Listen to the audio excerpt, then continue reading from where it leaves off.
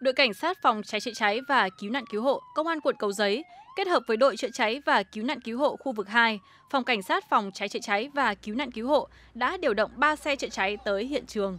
Sau khoảng 15 phút, đám cháy đã được khống chế và dập tắt. Khu vực cháy là một kho xưởng chứa đồ cũ rộng khoảng 150 m2, diện tích cháy 20 m2. Vụ cháy không có thiệt hại về người, nguyên nhân đang được điều tra làm rõ.